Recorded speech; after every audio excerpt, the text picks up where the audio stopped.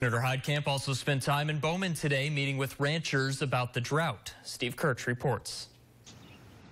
With most of western North Dakota being in a severe drought for months now, emergency grazing of CRP is finally happening. But is it too little, too late? There should be the opportunity to, to say, come look. You, you can see that it's dry. You can see what's happened.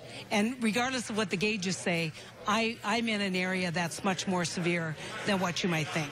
Now, emergency haying won't be released until August 2nd, but under CRP emergency provisions, only 50% of a field or continuous field can be hayed.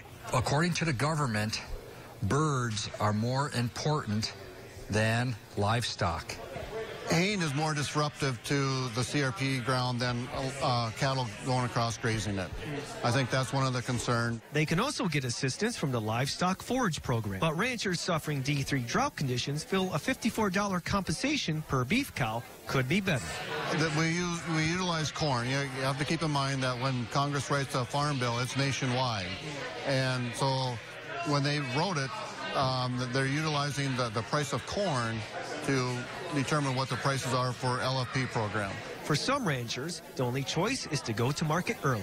Don't have feed, don't have water. They have to go to the livestock market and be sold.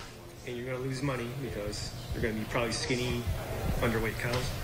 That's a very good possibility. The panel and attendees discussed various programs from water assistance to emergency disaster loans up to $500,000. But it seems like more should be done. Can we get some help hauling hay? Can we get some help um, hauling cattle? In the end, the day was productive. Yes, there were a lot of questions, a lot of answers, and the big broad spectrum was covered. However, there is still much that needs to be done. The, the biggest frustration. I feel such an incredible sense of urgency um, and, and panic for these families and for these ranchers, and they're not getting their answers quickly enough. In Bowman, Steve Kirch, KX News. Heitkamp has urged the IRS to delay capital gains taxes for ranchers who had to sell cattle.